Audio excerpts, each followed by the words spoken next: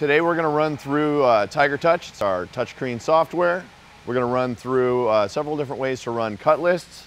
Uh, we're going to run through a push feed cut list, set point cut list. We're going to run them as optimized and we're going to show you how to run a pack list as well. Um, so to jump right into it, uh, we're going to go ahead and load up three separate cut lists. These cut lists are all a little different so they'll look a little different and I'll show how. So to load a cut list in our cut list screen, we simply uh, press load. It offers up the options that we have available. We're gonna pick the first one. It loads up here. We're gonna load up three cut lists.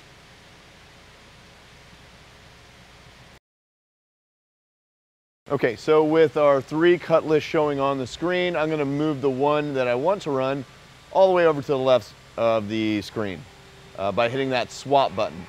Uh, now I'm gonna check it, make sure it's what I want. I wanna run it as a push feed list. I want it to be optimized and I'm not running a pack list, okay? So to start that list, um, or to open it all the way up there, we'll see that we're just showing the length, the quantity, and how many we have remaining. To start the list, I'm gonna press start up in the top left corner. I'm gonna enter in my stock length, which is gonna be 70 inches. Hit enter. I'm gonna load up a, a piece of stock here and press start. You'll see that it optimizes out my parts down below and shows my waste and my head and tail cut. So I'm gonna go ahead and start the list by making my head cut. Moves into my first cut piece.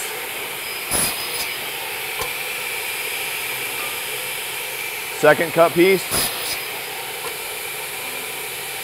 A third cut piece. And now my tail cut. Now it goes back out and asks me for my next stock length. Our next position is 70, so we're gonna go ahead and load our material up. Again, we're gonna press start. It's gonna move into the head cut, and we'll just run right through here.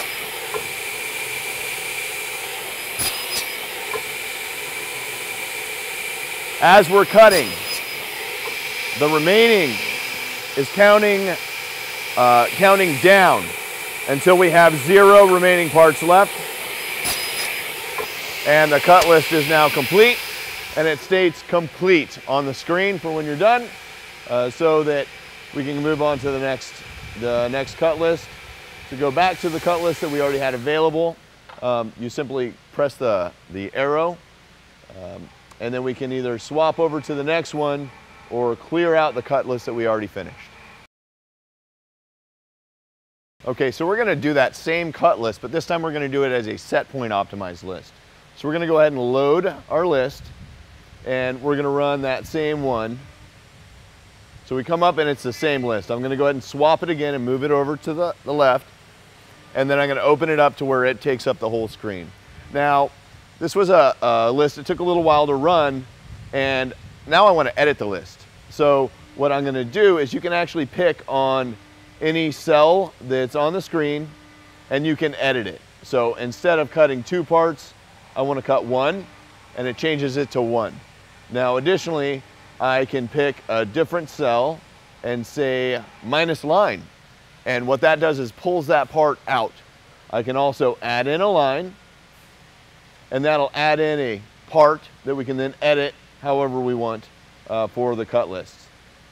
So we pick that cell we hit minus and it pulls that out. Now I'm gonna go ahead and edit this down to where we don't have as many parts to run on this list. Now we only have the three parts. We're gonna take a look at our list here again. We're gonna change it, uh, make sure it's a set point. Again, it's optimized. We're good with that. We're gonna go ahead and get started. So we press start. We give in our stock length again. Now in a set point list, it's gonna move forward to that set point position. Assuming you already have made your head cut. And so any cuts that we make will be parts at this point. But it shows your full board optimized on the screen. So as we're cutting parts, it's pulling the parts off of the list to where we got a zero here now and it darkens where the part was.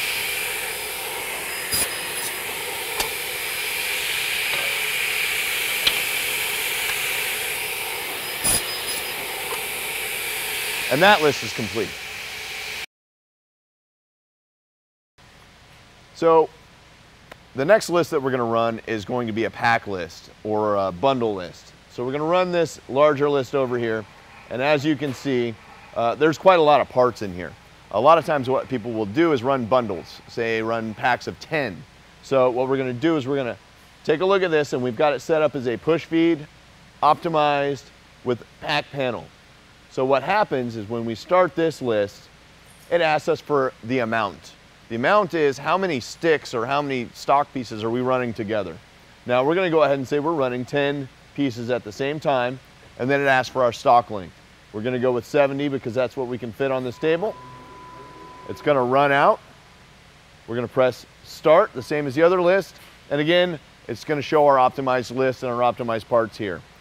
What we'll notice is when we're running through our list, it'll light up what part we are on and watch what happens when I make my cut. 10 pieces less on that part for every time I make a cut because we are cutting 10 pieces and pulling 10 parts from that.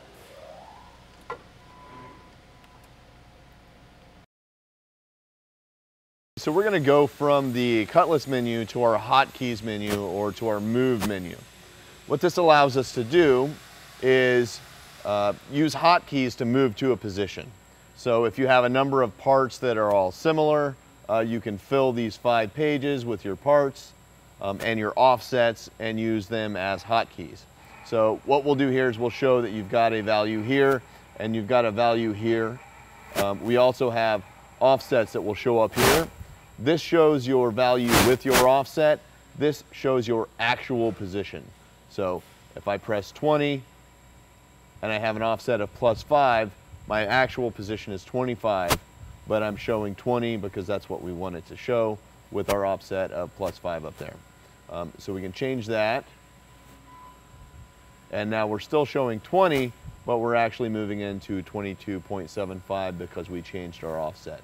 To clear your offset, you simply hit clear, and then you can move into whatever position it is that you need. Um, to change your offset, you can simply go to a different offset and cycle through them. Uh, it will not clear the offset, however, until you hit clear, and it will always use that while it's there. To edit, um, you simply press and release on the button that you're wanting to edit, uh, you can change it to a forward offset, a negative offset. Uh, we can change the colors uh, as well as the name of the either offset or absolute position and the value as well.